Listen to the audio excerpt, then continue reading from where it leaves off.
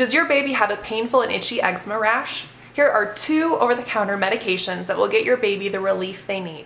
Make sure you guys hit that subscribe button and that notification bell so you guys never miss out on any of my pharmacist over-the-counter medication tips. I've got 10 years of experience as a doctor of pharmacy and I'm going to use that expertise to help you choose the right products to treat you and your family.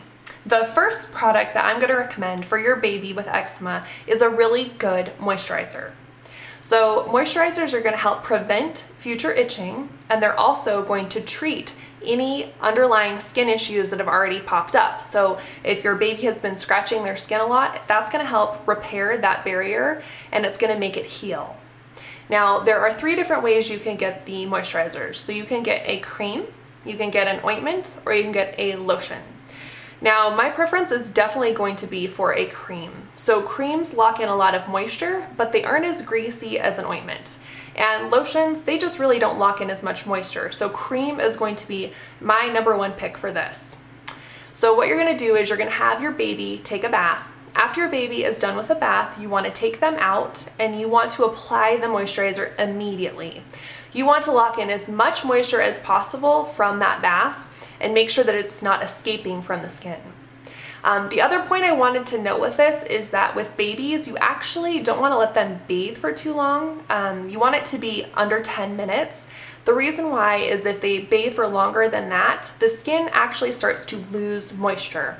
So keep your baby's baths under 10 minutes. And so my very favorite product for this, for locking in that moisture, is this Aveeno Skin Relief Repair Cream. It's for intense moisture. Now, the reason that I got this is because it's for me, but they have a pediatric version, and that one is a really good one. Um, this one has ceramides in it. So ceramides, they reinforce the skin barrier and they help lock moisture in. They also have um, oatmeal in this, which also increases moisture in the skin. And the National Eczema Association recommends this product for kids. Um, so again, just get the pediatric version of this and um, I also checked it out on the environmental working group, ugh, the environmental working group website. Um, I like to check out skin products on there. It just kind of goes over all the ingredients, make sure everything is safe in it. So when I looked this one up, I looked up the pediatric version and it gave it a score of three, which on the environmental working group scale is a moderately safe product, so um, anywhere from 1 to 10, and 1 is the best. So a 3 is pretty good, and um, I do really think it helps moisturize a lot. It's a really thick product, so I don't know if you can tell, but it's very thick. And so a little goes a long way, and um, I really, really do like this product.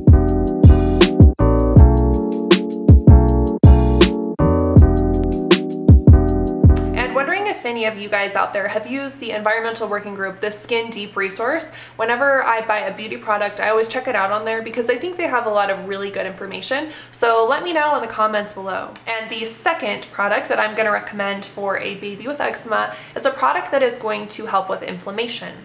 Now the product that I am going to reach for is going to be a corticosteroid and the one that you can buy without a prescription is called hydrocortisone.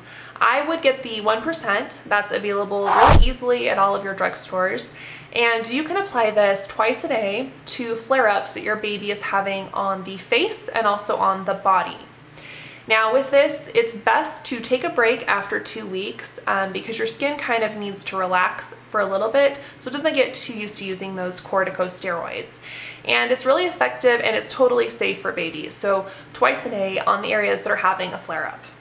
Now, another thing that I have heard about lately is some dermatologists are actually recommending um, patients who have lots of flare-ups, they can actually use the hydrocortisone preventatively and they can use it once or twice a week on the areas that they're prone to having flare-ups. So that's another way you can actually use the hydrocortisone for hopefully preventing future eczema outbreaks. There you have it. All you really need is a really good moisturizer and a corticosteroid and you are set.